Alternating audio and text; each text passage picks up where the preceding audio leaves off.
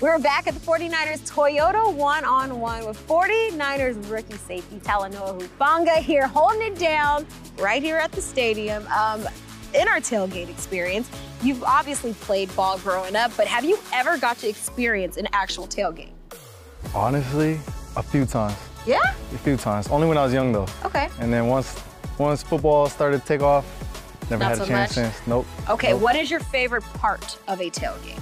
In my culture, you know, we bring a lot of Polynesian food, a lot of, and you know, I won't even say poly food, I say Hawaiian food. So for me, Okay, it's not okay. it's not the traditional wings and, and stuff like that. It's really like Hawaiian food and Polynesian food. So Okay. uh, stuff like that is where, where it gets down. So, Okay, so speaking of this is fantastic. Speaking of the food, are you a good cook? Uh, it depends what you would say define a good cook. Cause for me, cooking involves like doing stuff outside. Like my culture will cook on the ground and do stuff like that. So I, I can somewhat get down. Okay.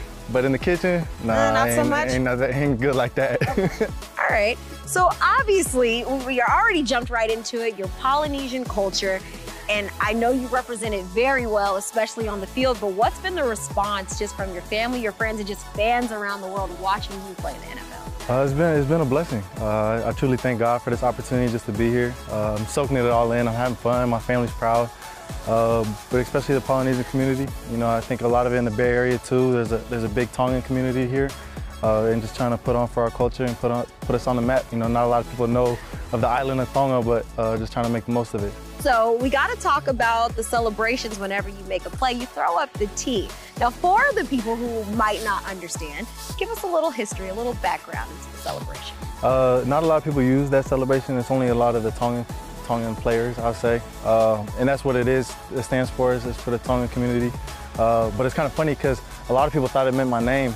Because Talanoa, they all just assumed I was throwing a Okay. Up for me. So I just, I kind of ran with that one too. uh, but yeah. See, I'm glad that's why we're here, so we can clarify all of this. So it wasn't necessarily the name. All right. Um, if I'm not mistaken, you were raised on a farm back in Oregon. Tell me a little bit about being raised on the farm. It's very different. Uh, like you don't have a lot of neighborhood friends. Like your, your friends are kind of the cows. It's kind of very different. Like me and my brother, we did a lot together. You know, it's kind of hard when you're playing tag, just me and him, uh, all around the property. But uh, you know, just getting raised on, in a garden, uh, stuff like that, and got cows, chickens, pigs, goats, uh, you name it, we had it. So. You said that your favorite activity on the farm was taking care of a goat. Is that right? For the most part, yeah. Why the goat? And then also, if I were to take care of a, of a goat, what is like the number one thing that I should know? One thing was funny about our goat uh, is actually it listened better than my dog. Our dog didn't really listen, not a good trainer, but my goat would go on walks with, like I could take it on a walk and it would follow me without even me have to like pull it. So one thing I don't know what the goat liked about me, but it, anytime I'll be out there, I didn't even have to put it inside the like inside the pen.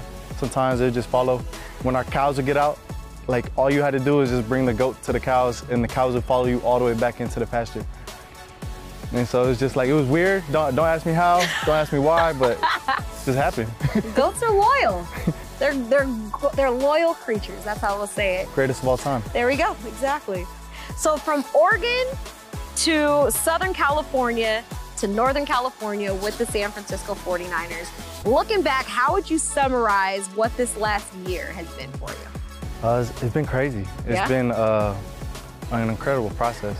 I think you get to see so many different things in life. Uh, it just, I'm like blessed. I'm like, I'm kind of spoiled, I'd say, for sure. Uh, but to just be around a great community, great people, uh, great teammates, people that are like just fun to be around. And I try to try to emphasize just this culture and what it is and what it is about.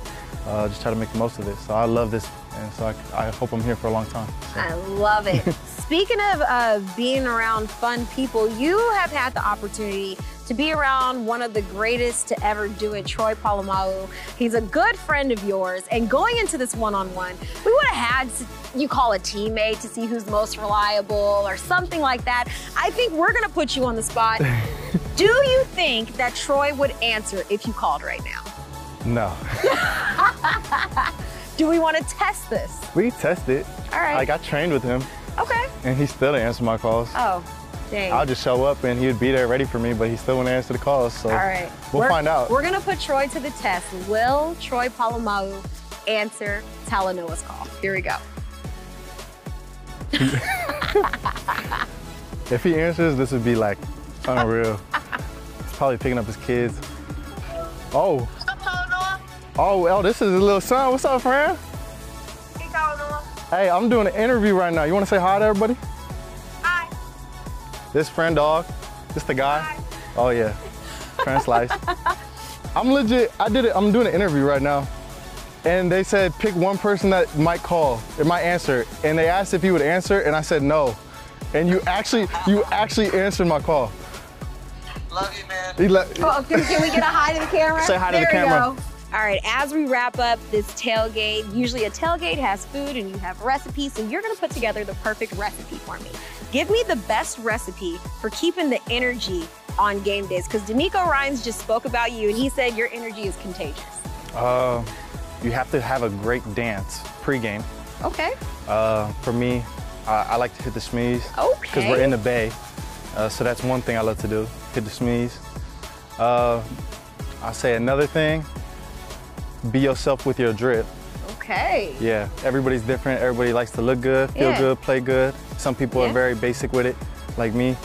Uh, and then lastly, play for the name on your back. There it is. I don't think it gets much better than that. I don't even have a follow up for that. Fantastic uh, responses right there. But now, really quick, who probably has the best sneeze sneeze in the uh, locker room? Uh, definitely me, because I'm the only one that does it. There we go. There it is. Talanoa Hufanga, thanks for stopping by the one on one. Appreciate it.